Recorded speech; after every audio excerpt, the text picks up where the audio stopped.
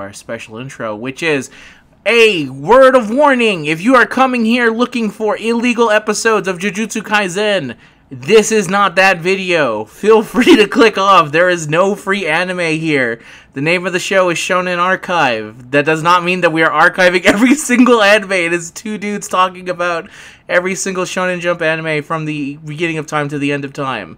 That's what this is. You've been given your warning. Click off. It's okay. Leave. And now, the intro can play.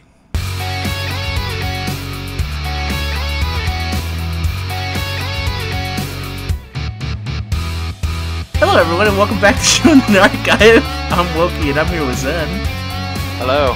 What Shonen Archive? Well, I literally just screamed it at the beginning of the intro, so no need to worry about that. The Shonen Archive is a show in which me and Zen watch all Shonen Jump anime. Currently talking about Jujutsu Kaisen, and then the other two are uh, Gintama, Kuroko's basketball, and plans to do Yu-Gi-Oh! Season 0 for this month. But unfortunately, my work has decided to be all flippy floppy and weird due to the strike. So for the one week where it looked like, hey, we would have plenty of time to just talk about stuff, it turns out there's actually work for me to do, and I need money, so I had to prioritize the money. But it's okay because we still get to talk about Jujutsu Kaisen because that's two episodes and that's very easy to do. Ah, isn't that great, Zen? It is nice that there's something that you can do quick and easy. Yes, it is, and there's nothing. Now, unfortunately, usually when we talk about Jujutsu Kaisen, it takes about almost the length of the episode, which is why people get it confused for the for the anime. Is that we talk about the single episodes at the length of the actual episode. That's how much we love Jujutsu Kaisen. So let's get right into it and go into episode 36, Dull Knife. Go ahead, Zen. Tell us what it's all about. Episode 36. So. Oh we, wait, wait, uh, wait, wait, wait! I forgot. Uh, last episode there was a tiny mistake where we messed up, and we we both we both ended up saying that the thing that happens with Toji's body is that for some reason we said Toji got to keep his soul. That's not the case. They don't keep the soul. It's literally just the body. And then they'll talk well, about in more. Jujutsu Kaisen, that's kind of the same thing. Yeah, well, the, listen. The, soul, the body is the soul. As far as they're concerned, when he shows up here, they they they specifically say they just take the body, and they're not interested in the soul. And yes, we know that we can go into deeper conversations, but in terms of what the lady said, and at, at that exact point in time, what we know, they didn't go for his soul; they just went for his body. And then today's episode, we learned that didn't really stop anything. okay. But I just needed to bring it up. Technically speaking, last episode that we were incorrect and we were jumping the gun a little bit in terms of what was being said. But yeah, go ahead. Yeah, now you can go with it. I had to bring it up because someone actually said like, "Hey, that's technically you know it's like this." I'm like, you know what? I will mention at the start and then we can actually go into it. But I, I once you talk about this episode, you realize yeah, it's like what you said. the body and the soul, basically one and the same. Sorry, Zen. Go ahead. Okay, so episode 36, we see uh, Ijichi is, fucked up. Um, Nanami is like remembering, and, he, and he's angry. He's like reminiscing about uh, before he was a sorcerer and, and whatnot. Um, Yuji and Megumi break the curtain finally. They beat the people to, to break through the curtain that's trapping people. Um, they end up finding the guy who got his shit rocked by Toji, and they're like, "All right, you know, what do we what do we do with this guy?" And Megumi's like, "Okay, I will, um, I will get him out of here, and you go ahead and go forward." So Yuji's like, "All right, I'm gonna I'm gonna do that." Um, you and Yuji like goes up into the into the station that where Gojo was, and they kind of have like a a little bonding moment where they're like, "Be careful," what yada yada. Um, the other team, which is Maki, Nobara, and one of the people in the suits whose name I don't remember, um, Akari Nitta is her name apparently. Yeah, it's from it's from that uh when we Yeah, she was one of the people from the bridge. yes arc. yes Yeah. yes yeah her. Yeah. I remember her. I was like, Um, it's Bridge Lady. Yeah, Get out of Uh, there, Bridge they Lady. go to yeah, they're fighting transfigured humans, and then there's uh, it's them, and also it's now Bito who is not helping at all because he's an old asshole. Um, they end up getting attacked by Haruta, who is the weirdo with the hand sword. Um, and he's like, "Oh man, I'm glad that I have a, a girl that I can kill because he's a creepy weirdo like that." Mhm. Uh, this is after Maki splits off, so it's just Nobara and um, Nitta that are together. Uh, he attacks them, and Nobara starts fighting him, and he kind of like throws his sword, which it has a little hand on it, and so the hand just like runs like the hand from the Addams family. Um, and it's just chasing her down with the sword blade, and it cuts her legs and makes her fall down. Uh, and then he runs in to go kill her, and Nobara is chasing after. Uh, he basically tricks Nobara into paying attention to uh, Nitta instead of him, and then she gets cracked with uh, the the hand sword. It like punches her in the head, and it gives her a concussion. Yeah, she's yeah discombobulate. Yeah, exactly. Uh, she's got a concussion, so she can't really fight. And the guy's like, "Ha ha, you're gonna, you know, I'm gonna kill you both or whatever." And he starts uh, stabbing Nitta repeatedly, like in the back and then down one of her legs. Uh, Nobara eventually gets to her feet and tries to fight a little bit, but really can't because she's all wobbly. And then the glass where they are shatters open, and it's uh, Nanami, who then walks in and beats the ever loving shit out of this guy. And it's very satisfying watching him just beat the absolute dog crap out of this dude. Um, he tries to wanna run away. Nanami keeps grabbing him and just keeps beating him down. Uh, they go find the girl that got it because she kind of crawled away in the chaos to hide, uh, and they go to get her. Mei is up there and she runs into uh, Geto. She's in like a subway tunnel. Uh, she runs into the fake Geto slash Kenjaku. I don't think they've said his name yet, but that's his name. Congratulations. Yeah, she's still trying to figure out what's going on. She's like, I don't yeah. think that's actually like not the, the only person who should know is us and Gojo, but he's sealed. Yeah. Um, he releases the smallpox demon, which is a really funny demon to use. Um, and he's like, "All right, if you can exorcise the smallpox demon, I will fight you." And then he just walks away. Um, they fight for like a minute. And it uses a domain expansion, and it like locks her in a coffin. And then she breaks out of the coffin, and she's like, "Wow, how long has it been since I've been in, in danger or whatever?" And then we cut back to Yuji, who is running around trying to figure out what's going on. Uh, we've got Nanami with the two girls, who's like, "You two, you know, stay here. You're wounded. Get out of here."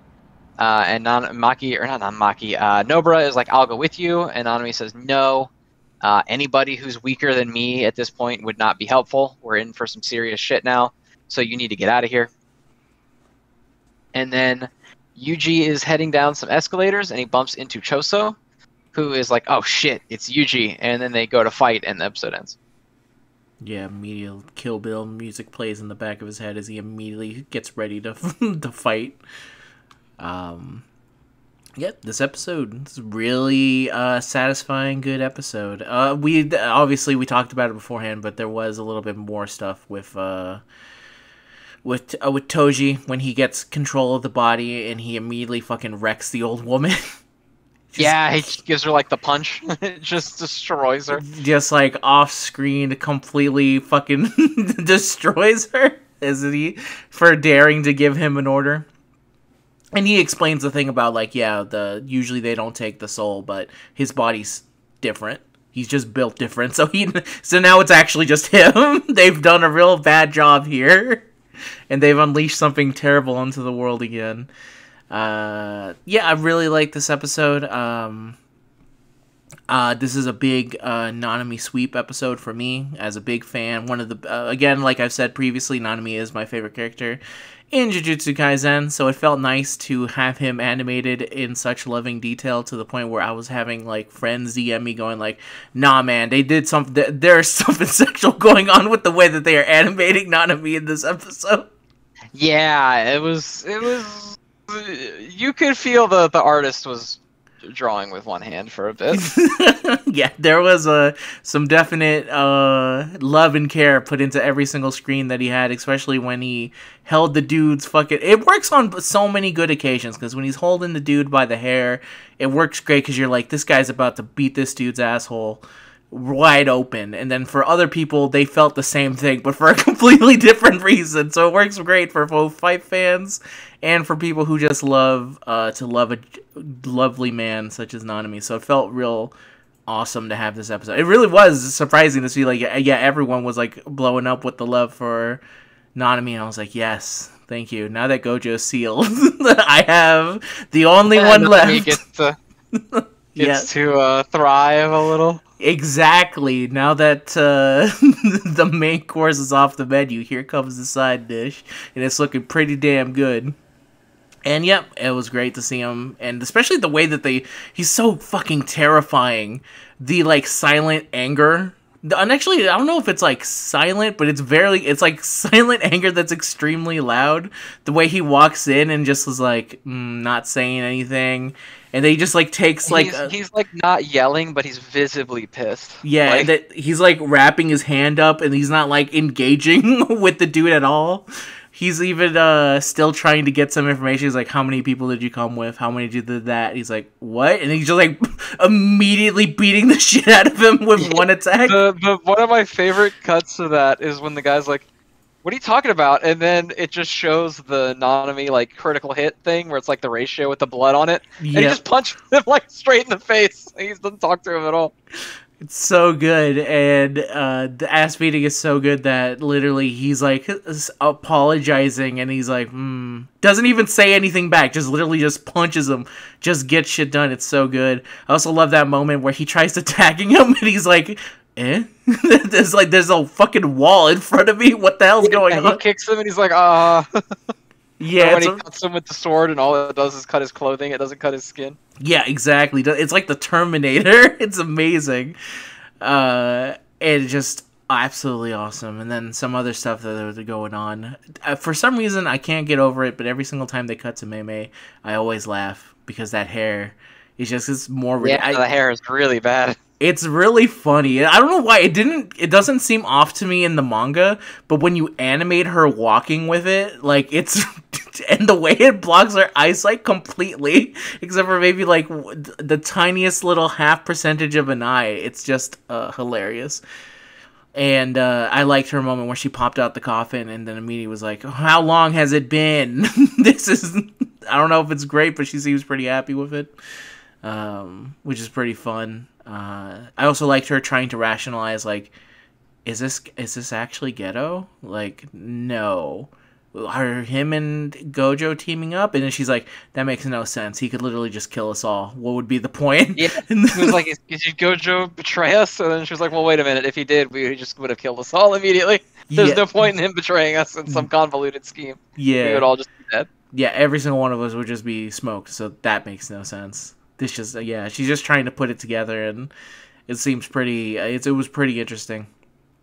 And then also like the brief bits of uh, Nobara fighting, even though she is clearly losing. I just like that her main technique is that I'm gonna beat you to death with a hammer, and uh, that's pretty hilarious. When she's like running at him with a single hammer, it really kind of brings it to the uh, the idea of just like yeah, no, she's just gonna literally be she's that meme. We would have taken ET out back and beat him with hammers. That's what she's gonna do, and she's gonna win. And unfortunately, she wasn't able to be strong enough for here. But still, it was funny to see her, and I did like that she had that one moment where it looked like he was gonna try and get the sword, and she just like nailed it. And she's like, "Oh no, no, no! You're taking this ass beating. You're 100% about to get this." So, real fun, real nice episode, and it leads into the next one. How do you feel about it, Zen? It was good. It was really good. Uh, the Nanami beatdown was definitely my favorite part. Uh, Nanami is a very Mhm. cool character who does very cool things. Yes, Um, for sure. So it was it was nice seeing him do more cool things. He's one of those characters that, like you said, doesn't really get that much shine because Gojo exists. Yes. And now that Gojo's not here, he just gets to do really awesome stuff. yeah. Um, I don't really like the sword hand guy either. He kind of is like there's not. He's not like an interesting villain or anything, you know. He's just uh, kind of like a guy. Jujutsu he's one of guys. Uh, y- Go ahead. He's just like you know they always have that one villain that like has to be creepy about women or whatever because that's like ha, he's a gross little freak. Uh, Yeah. And I'm not a huge fan of gross little freak villains, so I'm I'm glad he got his shit rocked by Nanami. Yeah, and I feel Uh, like that's the only reason they typically, unless unless they're in My Hero, in which case they are one of the main heroes. But for the most, one of the good guys. they're one of the good guys who gives a thumbs up and says, "Can't wait till you're 16." That- that- that's the only time where this character is a good guy. Usually they're here to get their ass kicked, and it's enjoyable to see them do it. um, what do you prefer, creepy guy or raging misogynist? Ugh, Yeah, no, it's a it's a Sophia's choice of bad options, but that's tough, man. that's pretty brutal. yeah, it's pretty brutal. But I feel like it's typically one of those two. And funny enough, Jujutsu Kaisen has one of two of them. I don't think we've met the the raging misogynist just yet, but he shows up later on. I think, if I remember correctly. Oh don't. I'm I'm similar to you. I'm not really the biggest fan of those type of characters, but when they're getting their ass kicked, perfectly fine. You just have to make sure that they actually get their ass kicked. If they stay too long, then it kind of gets annoying. But he he lasts long enough. And I also did like that they uh, eventually did confirm that the dude um, that I thought had died previously is like, no, he he lived. He was he had some sorcerer training beforehand, so he should be fine. So that was nice to hear at least.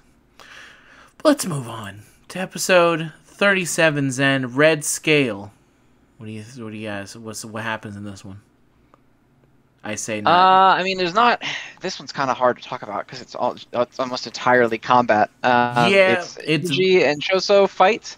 Uh, I really think the opening to the fight is really funny because um, Yuji like comes down the escalator in slow mo, and Choso looks at him like with just a flat face, like, "Oh, who's this guy?" And then he recognizes who it is, and he just immediately gets super pissed with all this blood shooting out of his face. It's really funny looking, just the way that it like immediately happens. Um, there's a little bit before this, I think, where Yuji is running through like the streets, and the transfigured monsters are attacking people, um, and he's like, "Oh fuck!" Um, but then Inumaki is there, and he's like, "I'll, you know, I'm gonna take care of it." So Yuji runs ahead, and there's a very cool scene where he like flips off the rails and he kicks off a sign. Uh, I really like the motion in that. It was very Mhm.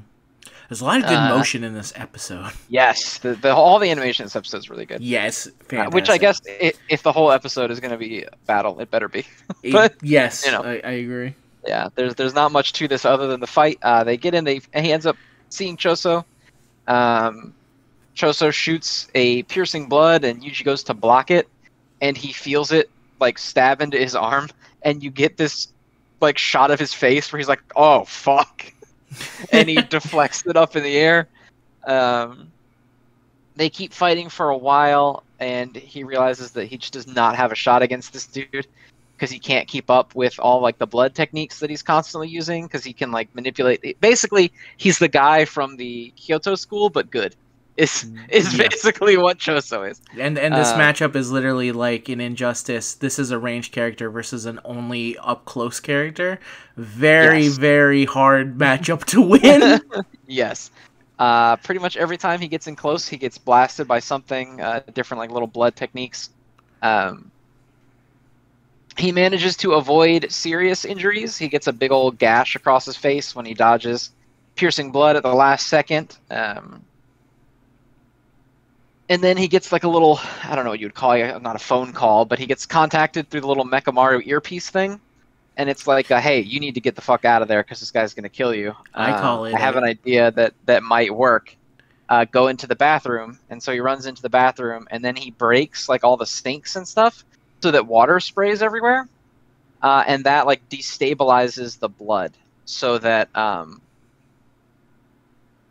when Choso tries to use the blood outside of his body, it like it, it can't he can't hold it together. It just turns liquidy because of all the Yeah. water in it. if you want the full Uh, explanation, they literally tell you in the anime while you're watching. They get into the full detail of what happens to blood when exposed Yeah, to it's water. like it, like it breaks down the blood cells, yeah, walls. and they it's, it's the whole thing. expand.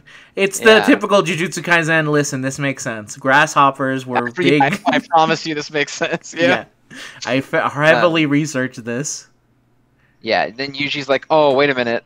Like, hold on now. I might have a shot here because Yuji is beating him in hand to hand. He's he's in raw hand to hand. He's winning. Um, even though he has a technique where you can use his blood inside of his body to allow him to like have better physicals. Um, he's still kind of losing to Yuji, and then he ends up like hiding some blood in his hand so it doesn't get wet, and he condenses it down really far and shoots it through Yuji's liver.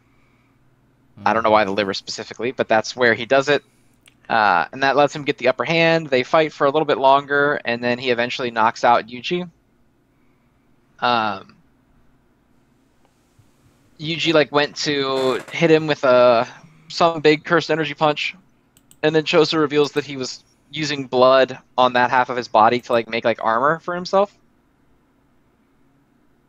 Uh, he, so he knocks Yuji out. Sukuna is like, ugh, guy's a fucking loser. Uh, but then he like opens his eyes up again because he realizes that Choso is not finishing him off, and he's having like a flashback memory of them at a pic of like him, Yuji, and the other two curse wombs uh, at like a, a picnic table, eating spaghetti or whatever, and then all the other curse wombs that are still in the little vials are like on the table. Yep. Um, he like shambles away because he has no idea what the fuck is going on, and then the two little girls who uh, are part of, I guess they're high school students. I guess they're not little girls, but the two girls that are part of Geto's squad show up, and they're like, "Let's get started." Mm. Dun, dun.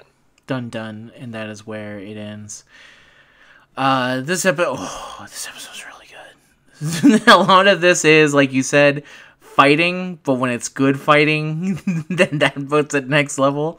I have no issues with uh no funny enough there's some how do you feel zen? What's better? Just pure on 22 minute beatdown or would you prefer a couple minutes of beatdown interspaced with cutting back to King Kai to see how does he feel about the current situation in the fight.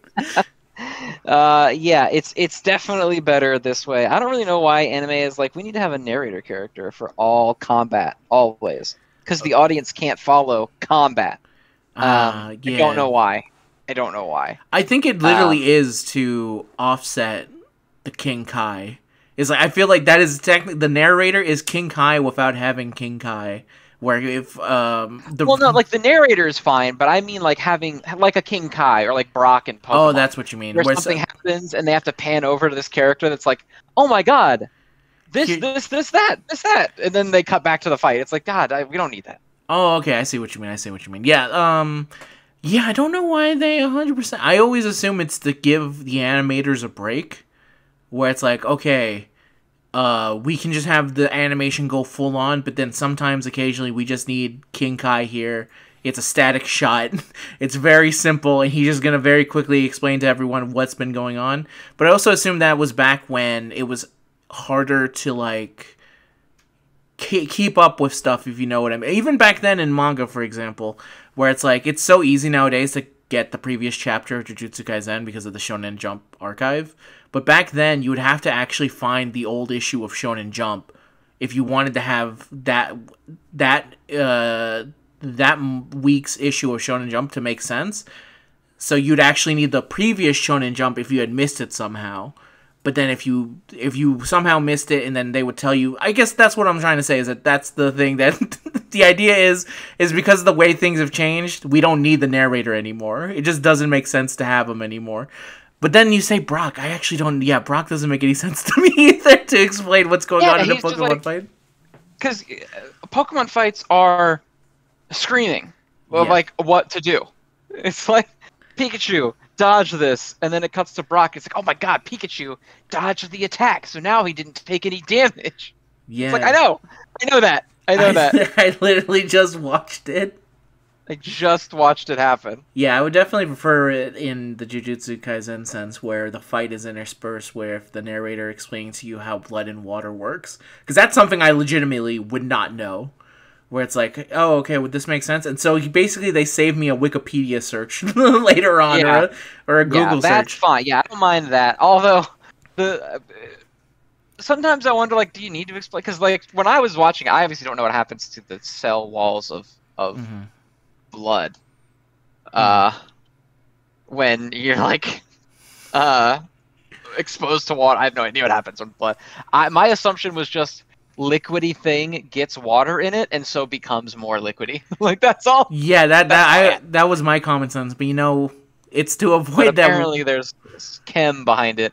So exactly, they're explaining the chemical, so it makes sense. So that when that guy online starts like talking shit, you can immediately show. They literally tell you in the episode how this works. Some anime fans have to have it spelled out to them, Zen. Otherwise, they're gonna ha- start spouting some weird shit where they just assumed it was it worked like this because of that. That's what I think, anyway. But yeah, the I definitely prefer the this money. Though i do again unless it looks specifically like an old anime. If it's a new anime i don't want to see that. If it's an old anime that's different. In which case it, if it looks like it came from the 90s and king kai is explaining to me then that's fine. But there's no reason for for beerus and Whis to do it. It's super is what i'm trying to say. There's just yeah, yeah. I, I, super though is like they're Mm. just rolling with what they already know from other like people like Dragon Ball, so we're gonna do this or whatever. yeah yeah sure. Fair fair enough. I'll, I'll give it to I, I'll i understand it and i will watch it and i will enjoy it but it's because it's dragon ball. But no no actual modern new one should have to do that.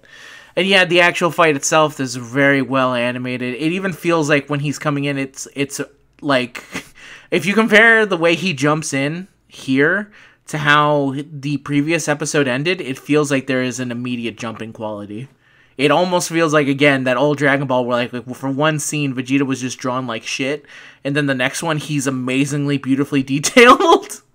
Yes. it kind of feels like that to me. Uh, it's like that one episode of Digimon where all of a sudden it has fucking movie quality, and you can't explain why Digimon looks so good, and then the next episode it returns to looking like normal. It kind of it feels special. Yeah. It's one of those. It's uh it's something that I actually really do like in anime when it happens because it makes it like feel like it's something special that you're watching. I guess the same thing could happen in One Piece where One Piece has had a lot of that recently where it's like, "Oh yeah, they brought in the heavy hitters for this one. So when the next one doesn't look as good as this, you know why?" Yeah, you know like why it does why they put all the effort into this one. yeah. I don't really know why it's like I mean I guess it's just because you don't have all the time in the world to make the thing that you want to make, so you just have to, Yeah. you know, pick your battles. have some shit. Yeah. Yeah, and unless they wanted to delay season two for like another year to give Yeah, to make I everything that it, it's I it's very tough. Yeah. Only so much you can do about it, you know. hmm Uh, Uh, yeah, and the fight itself was amazing. and like the the FPS mode that he had.